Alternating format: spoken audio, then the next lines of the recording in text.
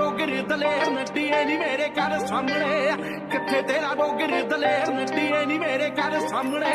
ਕਿੱਥੇ ਤੇਰਾ ਡੋਗਰ ਦਲੇਰ ਨੱਡੀਏ ਨਹੀਂ ਹਾਉ ਸਰਦੀ ਆ ਦੁਨੀਆ ਯਾਰਾਂ ਦੀ ਚੜਤੋਂ ਰੁਕਿਆ ਨਾ ਰੁਕਦਾ ਏ ਵਹਿਮ ਕਰ ਦੋ ਮੈਂ ਖਤਮ ਨੇ ਦਬਾਉਣ ਵਾਲੀ ਗੱਲ ਸ਼ਰਤੋਂ ਰੱਖ ਦਿੰਦਾ ਪੱਟ ਕੇ ਚੜ